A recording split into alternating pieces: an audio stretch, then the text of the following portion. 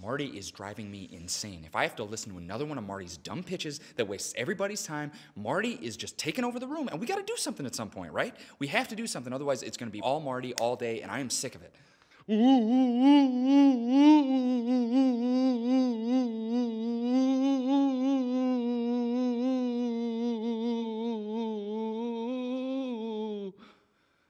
Hey, Marty, what's up, man?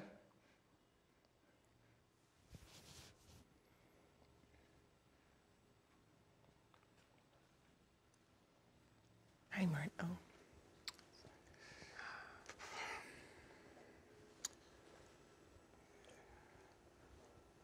Saw Marty over there. Should have said something. It's not our place. We gotta be real careful.